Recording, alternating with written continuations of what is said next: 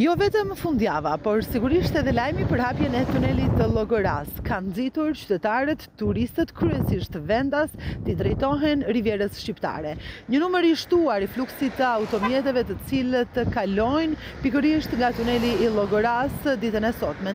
Sipas autoriteteve që monitorojnë lëvizjet brenda tunelit, vetëm në shtatë orët e para pas hapjes së tij, plot katër mijë automjete iu drejtuan Rivierës Shqiptare, mes të cilëve edhe turistë të huaj. Gjatë paradites së kësaj të shtune, kjo shifër u dyfishua. Një çift nga Ukraina i është drejtuar jugut të vendit për pushime.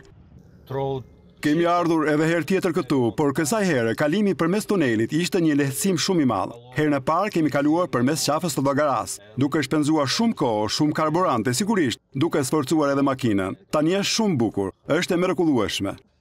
Autoritetet e monitorimit të tunelit shprehen se dhe vetë udhëtarët janë të impresionuar nga pamjet që u ofrohen. Edhe shoferat kur kalojnë i shikon të gjithë me telefona nëpër duar duke filmuar, janë shumë kuriozë pa. Po. Numërimi i automjeteve ndodh nëpërmjet aparaturës? Në nëpërmjet kamerave që monitorohen brenda tunelit. Brenda tunelit. Turistët po zgjedhin Rivierën Shqiptare më shumë se asnjëherë tjetër për shkak të lehtësisë në qarkullim, duke shmangur kthesat e Llogarasë dhe ato të Palasës, çka përkthehet në më pak karburant, në më pak kohë dhe më shumë komoditet dhe siguri në udhëtim.